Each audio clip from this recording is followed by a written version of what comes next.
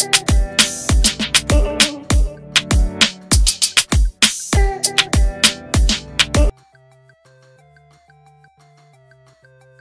อดอลกุลคาแมร์ร้องสื่อบราซิล ช่วยหลังโดนปลดแชมป์โลกมวยไทย หลังจากที่อาโกเทเซียร่า นักมวยชาวบราซิล ตัวแทนศิลปะการต่อสู้กุลคาแมรถูกองค์กรมวยไทยโลก WMO World Muay Thai Organization ถอดจากตำแหน่งแชมป์โลกอย่างเป็นทางการ และถูกแบนจากกิจกรรมของ WMO ในอนาคตทั้งหมด โดยให้เหตุผลพฤติกรรมทำให้กีฬามวยไทยเสื่อมเสียชื่อเสียง ไม่มีน้ำใจนักกีฬาเจตนาทำให้กีฬาประจำชาติไทยเสื่อมเสียยุยงให้เกิดความเกลียดชังล่าสุดติอาโกได้โพสต์ไอจีสตอรี่ระบุว่า หากใครสามารถติดต่อกับสถานีโทรทัศน์ใด ๆ ในบราซิล และช่วยให้ผมพูดเรื่องนี้ ผมถูกทำให้เสียชื่อเสียงและถูกโจมตี ผมไม่ต้องการอะไรตอบแทน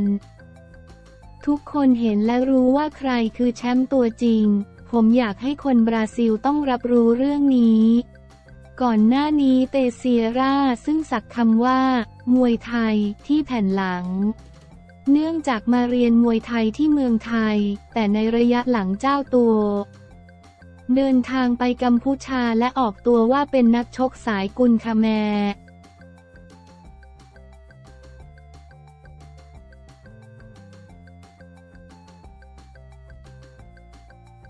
ภาพยนตร์พร้อมเข้าฉายปรับสองเวอร์ชั่นงงคนเซ็นเซอร์ใช้เกณฑ์ตัดสินอะไร ได้เลิกเข้าฉายแล้วสำหรับภาพยนตร์เรื่องหุ่นพยนต์ หลังจากประกาศด่วนว่าหนังต้องเลื่อนฉายไม่มีกำหนด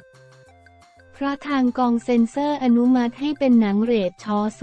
0.20 จนทำให้ทั้งผู้กำกับอย่างไม้พลธริศโชติกฤษดาโสพลต้องเข้าไปคุยกับกองเซ็นเซอร์ถึงเรื่องการตัดต่อหนัง และเรทของหนังโดยล่าสุด วันที่ 6 เมษายน ผู้กำกับคนเก่ง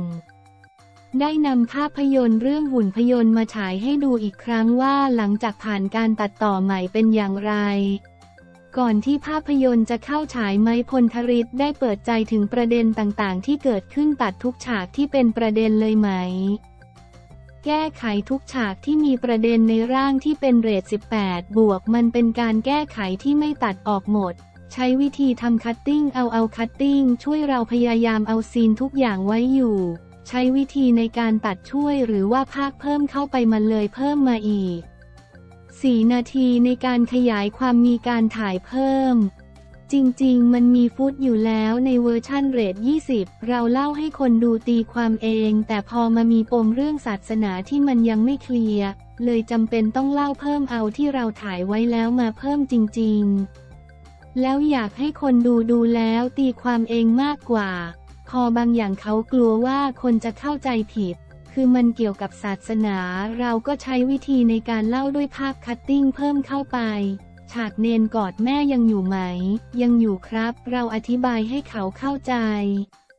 แต่มันก็ไปชิ่งอีกซีนที่มีจับตัวสีกาเหมือนกัน แต่อันนั้นใช้ cutting ช่วยใน 6 ข้อที่ทางกองเซ็นเซอร์ไม่ให้เราผ่าน มีข้อไหนที่ติดใจเรา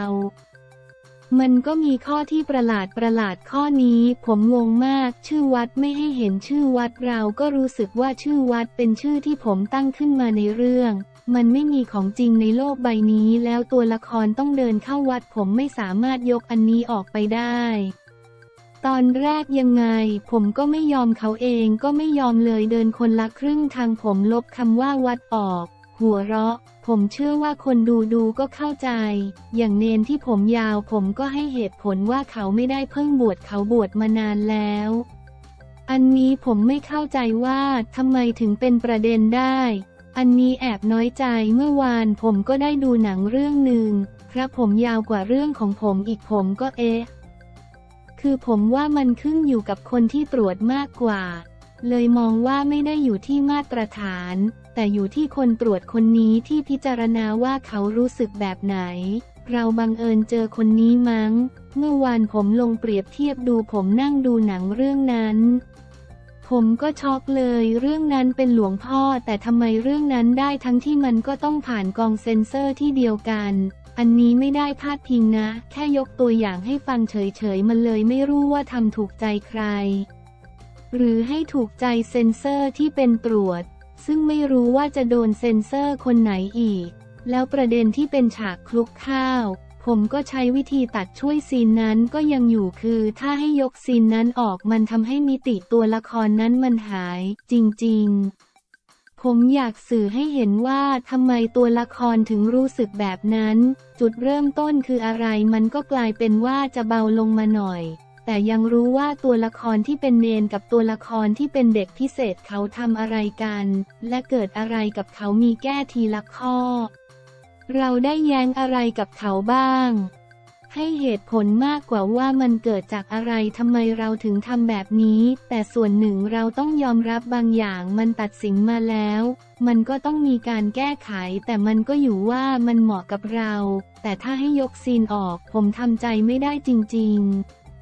มันทำให้หนังผมเสียผมหาวิธีเดินทางยังไงถึงไปคนละครึ่งกับเขามากกว่า ส่วนอัธรสทั้งหมดพอผมได้ดูหนังรวมทั้งเรื่อง ผมรู้สึกมันยังสนุกอยู่ รสชาติจะเหมือนกันไหมระหว่างเรท18 บวกกับ 20 ถ้าคนดูได้ดูเรท20 คนดูจะได้กลับไปคิดว่ามันเกิดอะไรขึ้นกับวัดวัดนี้ แล้วทุกคนในวัดคิดยังไงในเรื่องของศาสนาทุกคนคิดยังไง แต่ในเรท18 บวก เราขยายให้เขารู้เลยว่าเขารู้สึกยังไงไม่ต้องคิดเยอะ แต่หนังคนดูจะได้อัธรสต้องให้คนดูกลับไปคิดด้วย แต่นี่ก็เข้าใจเขาลดเรทลงมาเพื่อให้เด็กได้เข้าไปดูได้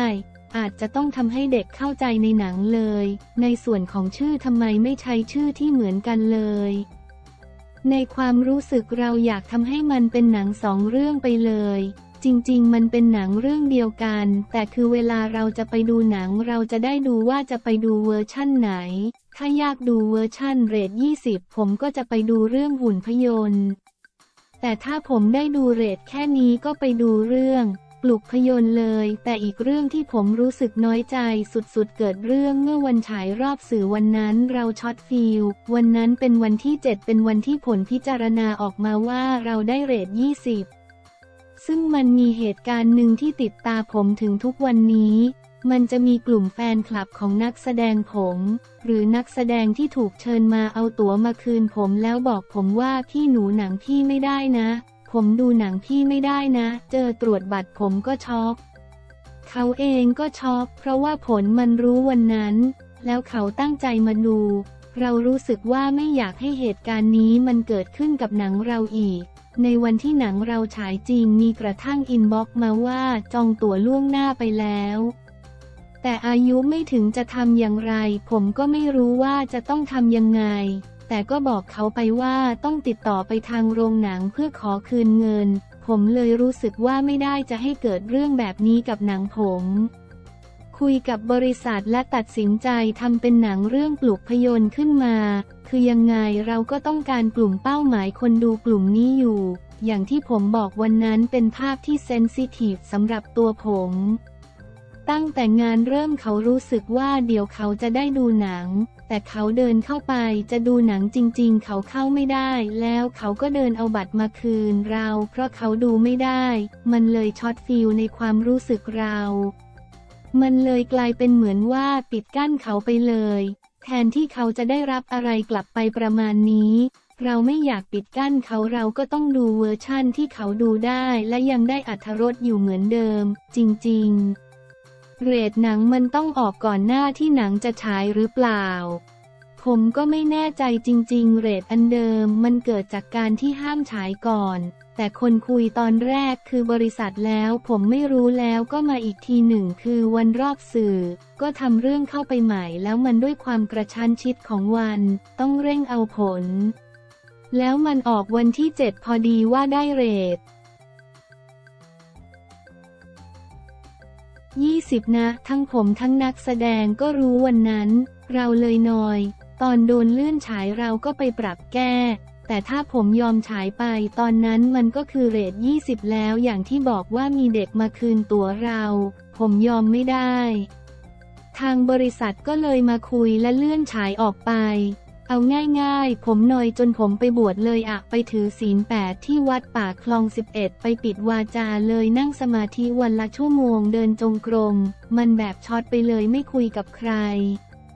ได้แต่สงสัยว่าเรื่องนี้มันอะไรวะ หัวเราะ มันเกิดอะไรขึ้นวะ ด้วยความที่เราไม่เคยเจอสถานการณ์นี้ไง เราก็ทำหนังพระเราก็ไม่เคยเจอห้ามฉาย 20 มันเป็นสถานการณ์ที่เราตั้งรับไม่ทัน มีแต่คนอื่นเขาโดนกัน พอเราโดนเองเราก็ช็อตมันก็เลยรู้สึกแย่ งบประมาณมากขึ้นไหมหนังมีสองเวอร์ชั่น มันเหมือนเดิมครับ เพียงแต่เป็นเรื่องของการตัดต่อ เราต้องมาตัดใหม่ทำเพลงใหม่ เรื่องโรงฉายจะยังไง อันนี้ต้องถามบริษัทว่าเขาจะวางยังไง เพราะเดือนเมษายนหนังไทยค่อนข้างเยอะ มีแนวคิดที่จะขยับไปอีกไหมตอนแรก การวางโปรแกรมจะเป็นเรื่องของทางไฟสตาร์ผมจะไม่ได้เข้าไปยุ่งอะไรอยู่ที่ความสะดวกของผู้ใหญ่ที่อยากฉายตอนนี้ เพราะด้วยเหตุผลอะไรของเขา กระแสโซเชียลก็เข้าใจเราและแปลกใจว่าทำไมหนังถึงไม่ผ่านกองเซ็นเซอร์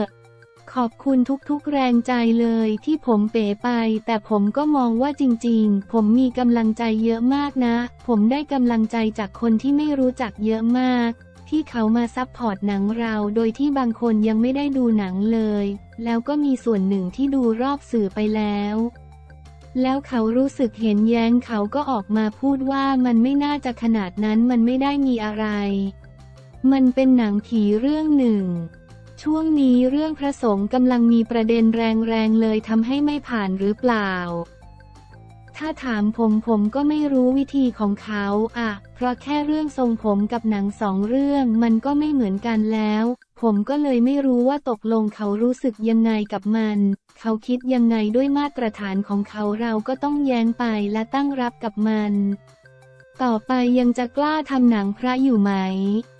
ยังทำอยู่ครับ เราสายนี้มาอันนี้ไม่สามารถหยุดผมได้ มันยิ่งทำให้ผมมีพลังมากขึ้นในการทำด้วยซ้ำไป สุดท้ายคนที่ให้กำลังใจผมมากที่สุดก็คือทุกเพจ ผมยกมือไหว้ทุกสื่อเลย อยากบอกเขาว่าขอบคุณมากๆที่ให้กำลังใจ ที่ปกป้องและก็เชียร์หนังทำให้รู้ว่าคนไทยยังรู้สึกโอเคกับหนังไทยอยู่ เขายังต้องการจะดูแสดงว่าคนไทยยังรักหนังไทยเลยเป็นแรงผลักดันว่าลายเซ็นผมตั้งแต่ทำพี่นาคมา ที่เป็นพระเป็นวัดผมก็ยังคงมันไว้อยู่เรื่องของเราก็กระตุ้นผู้กำกับหลายๆ คนเหมือนกัน มีแรงกระเพื่อมเยอะมาก ใช่ใช่มันเป็นไม้เบื่อไม้เมากันมายาวนาน หัวเราะ อยู่ที่ช่วงนั้นจะแจ็คพอตที่เรื่องไหน ของผมรู้สึกว่าจะเป็นในรอบสามปีมั้ง พอมันเกิดขึ้นมันก็เป็นแรงที่แบบ มันกลับมาอีกแล้วเหรอประเด็นนี้ทำไมมันถึงไม่ถูกปฏิรูปสักทีหนึ่ง